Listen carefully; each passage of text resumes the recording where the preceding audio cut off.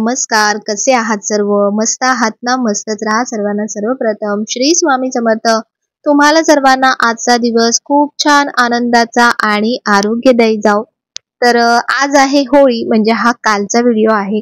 तर होळीला सगळ्याच घरी पुरणाची पोळी तर बनतच असेल. तर ही जी चण्याची डाळ आहे ना ही शक्यतो रात्रीच भिजत घालायची पुरणाची पोळी करताना. म्हणजे डाळ शिजताना डाळ अगदी लवकर शिजते आणि एकदम छान शिजते.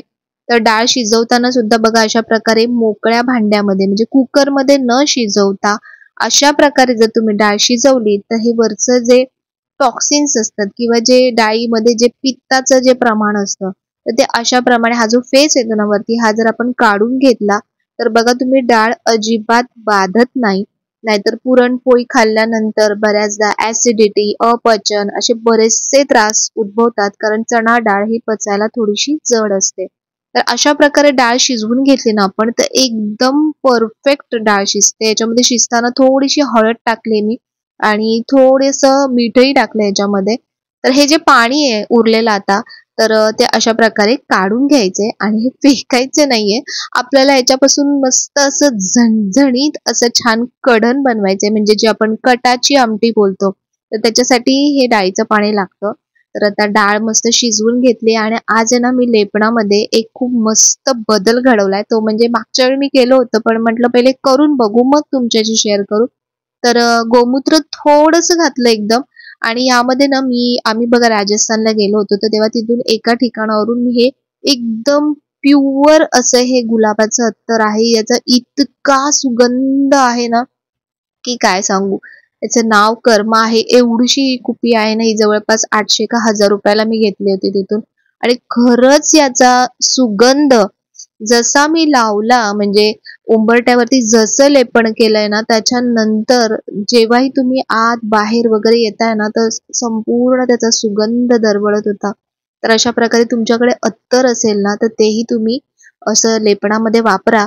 खूप छान खूप छान वाट मस्त वाटतं. म्हणजे आपल्यालाच इतकं येता जाता इतकं पॉझिटिव्ह वाटतं.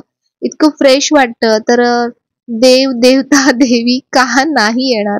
तर म्हणून हे हे नक्की करून बघा लेपणामध्ये खूप छान वाटतं. तर आज होळी आहे. तर देव संपूर्ण देव उजळवायचे होते. संपूर्ण मंदिर स्वच्छ करायचं होतं. सर्वांचे छान वस्त्र असे मस्त मस्त सर्वांना आज घातलेत. आणि बघा किती छान आपले देव किती सुंदर दिसतात तर आज देवपूजा संपूर्ण करायला खूप वेळ गेला. म्हणून बऱ्याचशा गोष्टींना आपण थोड्या आधीपासूनच अशा प्लॅन केल्या. म्हणजे आता पूर्णाचं जेवण होतं तर त्याचं काही गोष्टी प्लॅन केल्या. तर आपल्या बऱ्याच गोष्टी मग वेळेवरती होतात. सणांच्या वेळेला ना आपल्या घरामध्ये एकंदर वातावरण असं वेगळंच होतं. खूप मस्त असा हुरूप येतो काही ना काही गोष्टी करण्यासाठी. तर आज म्हटलं की आज आपण चिन्ह नाही काढायचे. म्हणजे जे देवांचे चिन्ह असतात ते नाही काढायचे. आज छान अशी देवांच्या समोर जी रांगोळी काढतो आपण. तशा प्रकारचीच रांगोळी मी काढली आज आणि देवपूजा पहिले करून घेतली. देवपूजा पहिले झाली ना की मग घरामध्ये संपूर्ण असं एक असं भरगच्च आणि असं प्रसन्न आणि खूपच छान असं वातावरण वाटतं.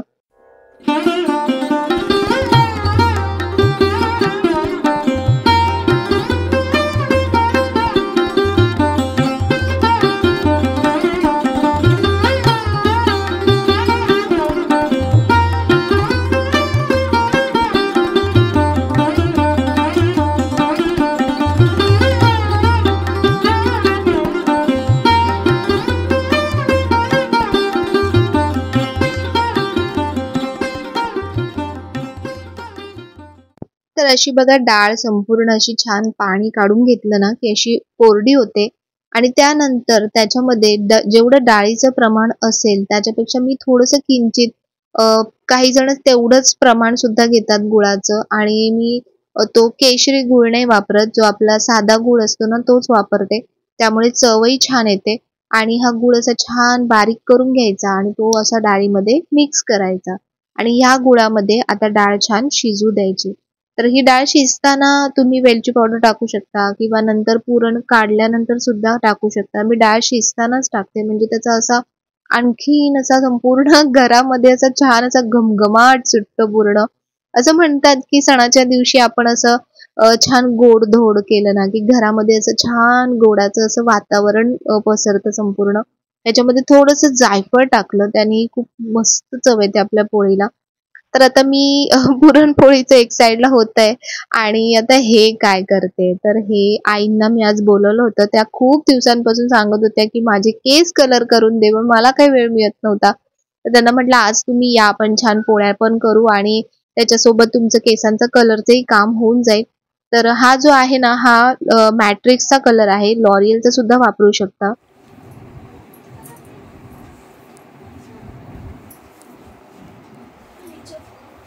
आईंना मी आजच होळीचा कलर लावते. पण केसांना. केस बघ किती वाईट झाले पूर्ण स्कॅल्प दिसतो एवढे वाईट झाले आता आम्ही खूप दिवसांनी कलर लावतोय. हे केस इथला कलर वेगळा केसांचा आणि इथला कलर वेगळा आहे. ना? हे इथला पूर्ण हा व्हाईट कलर आहे. आणि इथून खाली पूर्ण ब्राऊन कलर आहे. लाल मेहंदी लावून दिली होती. ना? सगळा वेगवेगळा कलर आहे.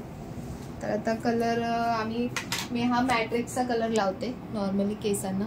पार्लरमध्ये पण हाच लावतात म्हणून तो आम्ही घरी लावतो. आता टपटापट कलर लावूया. ऐका ते हे कलर केमिकलाइज असतातच पण बसतात छान केसांना आणि जास्तीत जास्त दिवस राहतात. जवळपास महिना किंवा दीड महिना तुमच्या केसांवर अगदी टिकून राहतात. पण जर तुम्हाला तुम्ही हे करण्यापूर्वी पहिले एकदा पॅच टेस्ट करून घेत जा आणि त्याच्यानंतर कलर करत जा. हा मॅट्रिक्सचा कलर आहे तर हा कुठलाही तुमच्या इथे जवळपास ब्युटी शॉप असेल की जिथे सगळं सामान बघा पार्लरचं वगैरे मिळतं तर तिथे तुम्हाला हा कलर मिळून जाईल. ह्याच्यासोबत डेव्हलपर सुद्धा येतं व्हाईट कलरचं तो जेवढा कलर तेवढंच डेव्हलपर किंवा त्याच्यापेक्षा थोडंसं कमी डेव्हलपर मिक्स करून आपल्याला हा कलर केसांना लावायचा असतो.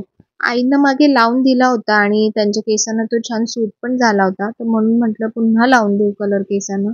आता कलर एक साईडचा कलर बघा आणि एक साईडचा कलर या कलरने केस छान असे स्मूथ पण दिसतात. आणि हा शायनी वाटतात आणि कलर बसतो पण पटकन. म्हणजे किती पण केस आपले ब्राऊन झाले असतील किती पण व्हाईट झाले असतील तर जरी पण कलर छान बसतो केसांना. आता आईचं कसं खूपच व्हाईट झाले म्हणून थोडा वेळ लागतोय पण असं मर्ज केला ना केसांमध्ये कलर की छान बसतो मस्त बसतो कलर आता एक साईडचा इथून कळत असेल तुम्हाला रिझल्ट हा एक साईडचा कलर आणि तो तिकडचे केस.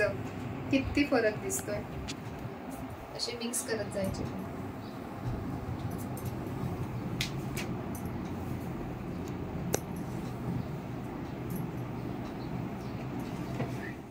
तर बघा केसांना कलर खूप छान बसतोय. आणि हा कलर करताना ना हातामध्ये ग्लव्स यूज करा. मेडिकलमध्ये मिळून जातात. कारण कलर ना संपूर्ण हाताला लागतो स्किनला आणि मग लवकर निघतही नाही तो कलर आणि आईंचे केस तुम्ही बघू शकता की किती ड्रास्टिक चेंज त्यांच्या केसांमध्ये झालेला आहे. आणि या कलरने केस छान सिल्की आणि छान शायनी पण दिसायला लागतात.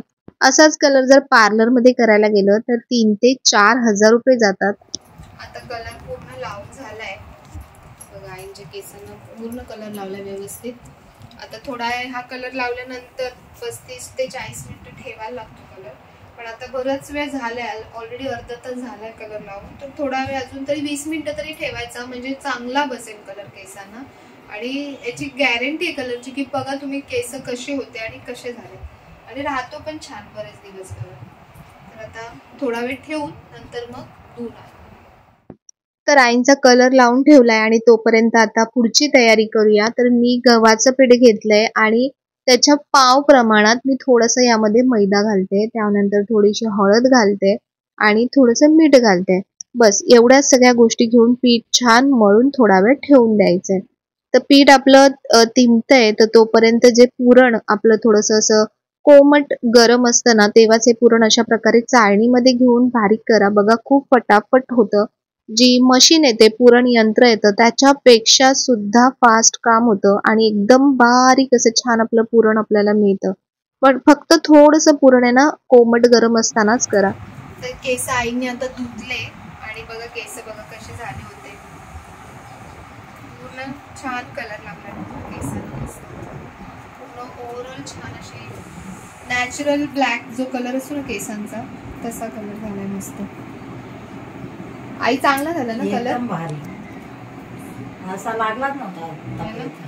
खूप भारी लावलं यावेळेस. छान लागले. आता आईना समोरून तुम्ही दाखवा आई कशा दिसतात. मी नाही आई कशा दिसतात? झाल्यानंतर म्हणजे आधी कशा दिसत होत्या आता कशा दिसतात? चला. दिसायची. चला. आता आम्हाला पुरण. पुरण. तर आता पीठ पण छान तिंबलंय आणि आमचं काम झालंय. आईंचं पण केसांचं काम मस्त झालं. त्यानंतर आता फटाफट आम्ही दोघींनी पुरणाचे जे गोळे आहेत ते भरायला घेतले.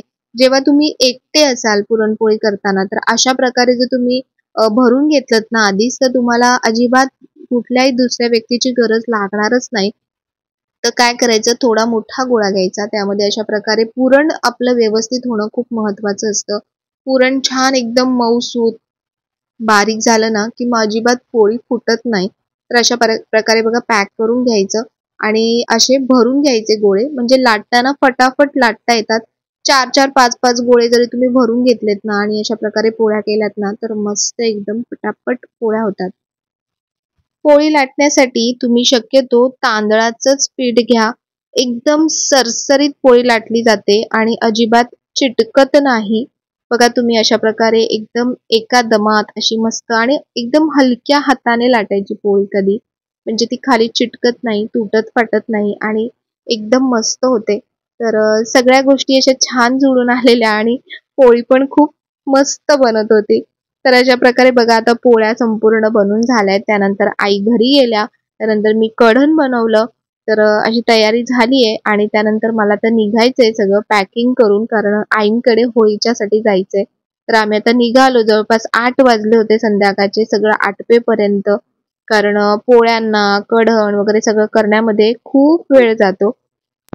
तर इथे आईंकडे आता घरी आलो त्यानंतर पूजेची सगळी तयारी करून घेतली.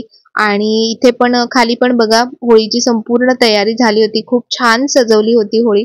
इथे चाळीमध्ये ना खूप वर्ष जवळपास तीस चाळीस वर्ष झाले म्हणजे होळी पेटवली जाते. आणि बऱ्याच जणांनी विचारलं की ताई बाबा कसे आहेत? तर बघा बाबा छान आहेत. आता तब्येत व्यवस्थित रिकवर होते आणि खूप सगळीकडे ना ते पूजा सांगायला त्यांना खूप आवडते. आणि होळीची पण पूजा काकांकडून ते करून घेत आहेत. पुस्तक आहेत त्यांच्याकडे बरीचशी वेगवेगळी. त्याच्यातून ते पूजा करून घेतात. आणि ही सगळी नवीन युवा मंडळी आहे चाळीतली आता. नवीन पिढी आहे सगळी. तर होळी हा भारतामध्ये विशेषतः उत्तर भारतामध्ये उत्साहाने साजरा होणारा एक सण आहे. या सणाला होळी पौर्णिमा असंही संबोधलं जातं. होलिकोत्सव धुलिकोत्सव आणि रंगोत्सव म्हणजे होळी. धुळवड व रंगपंचमी अशी या उत्सवाची स्थाननिहाय विभागणी होते. तर काही ठिकाणी तो एकत्रितरित्या साजरा होतो. फाल्गुन पौर्णिमेपासून ते फाल्गुन वद्य पंचमीपर्यंत दोन दिवस ते पाच दिवस हा उत्सव साजरा केला जातो. या उत्सवाला होलिका दहन किंवा होळी शिमगा हुताशनी महोत्सव फाग फागुन दोला यात्रा कामदहन अशा वेगवेगळ्या संज्ञा दिलेल्या आहेत. कोकणात ह्याला शिमगो म्हणतात. फाल्गुन महिन्याच्या शेवटच्या दिवशी साजरा होणाऱ्या या लोकोत्सवाला फाल्गुनोत्सव आणि दुसऱ्या दिवशी सुरू होणाऱ्या वसंत ऋतूच्या आगमनानिमित्त वसंतोत्सव असेही म्हणण्यात येते. महाराष्ट्रात होळीच्या दिवशी समिधा म्हणून काही लाकडं मन मंत्रोच्चारात जाळण्यात येतात. आणि पेटलेल्या होळीभोवती बोंबा मारतात. लोक प्रदक्षिणा घालतात. होळीला नारळ अर्पण करून नैवेद्य दाखवला जातो. महाराष्ट्रात पुरणपोळीचा नैवेद्य दाखवण्याची रीत आहे. होळीनंतर पाच दिवसांनी रंगपंचमी हा सण साजरा केला जातो.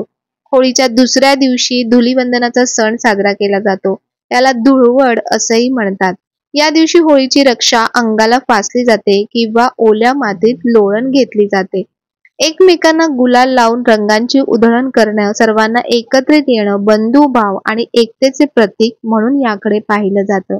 तर अशा प्रकारे होळी दरवर्षी येते आणि सर्वांना रंगवून जाते. ते रंग निघून जातात पण त्या प्रेमाचा रंग जो असतो ना तो तसाच राहतो. आणि होळीच्या या पवित्र अग्नीमध्ये निराशा दारिद्र्य आळस आणि यांचे दहन हो.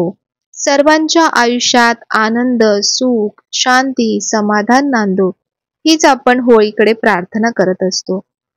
तर अशा प्रकारे दरवर्षी आम्ही असं इथे जातो चाळीमध्ये आणि असं छान होळी साजरी केली जाते. खूप मस्त वाटतं. म्हणजे खरंच अशा प्रकारे जेव्हा सण साजरे होतात ना तेव्हा खऱ्या अर्थाने सण आहेत हे आपल्याला म्हणजे कळतं. आणि त्याच गोष्टी कसं असतं आता मी निष्ठाला सुद्धा घेऊन जाते. मग मुलांना सुद्धा ते त्या गोष्टी कळतात. जर आपण मुलांना दाखवलंच नाही आपणच स्वतः या गोष्टी केल्या नाही तर पुढच्या पिढीला सुद्धा या गोष्टी कळणारच नाही तर अशा प्रकारे खूप छान साजरी झाली इथे होळी. आणि आईंचा चेहरा तुम्ही बघितलात किती छान दिसतोय. म्हणजे छोटासा एखादा बदल सुद्धा किती मोठा दिसतो आणि किती छान फरक वाटतो. तर इथली होळी छान झाली आणि त्यानंतर मग आम्ही निघणार होतो. ते म्हणजे आमच्या इथे सुद्धा मंदिराच्या इथे सुद्धा होळी लावली जाते. तर तिथे सुद्धा तिथे तिथे दर्शन घेऊन मंदिरात देवीचं दर्शन घेऊन त्यानंतर मग आम्ही घरी जातो. तर जस्ट आलो आता घरून सगळीकडे. म्हणजे इथेच घरी जातो आम्ही कारण दरवर्षी म्हणजे हे लहान होते तेव्हापासूनची तिथे होळी असते. आणि आता सगळे एक एक एक एक जण कमी होत जातात. मग आपण असतो अवेलेबल तर आपण का नाही जायचं? तर मग आम्ही दरवर्षी जातोच आईंच्या इथे. आणि छान एकत्र आपला जो सण आहे तो सण साजरा करतो. त्यानंतर इथे आमच्या इथे सुद्धा होळी असते. मग तिथे पण होळीच्या पाया पडून येतो. तर आता असं सगळीकडे जाऊन फिरून मस्त मंदिरात देवीचं दर्शनसुद्धा आज पौर्णिमा होती आणि देवी आईचं खूप छान दर्शन झालं. तर आता घरी आलो आणि हा होळीचा व्हिडिओ तुम्हाला कसा वाटला? जर आवडला असेल तर नेहमीप्रमाणे लाईक करा शेअर करा सबस्क्राईब करा. पुन्हा भेटूया उद्याच्या नवीन व्हिडिओमध्ये. तोपर्यंत सर्वांना बाय आणि सर्वांना श्री स्वामी समर्थ.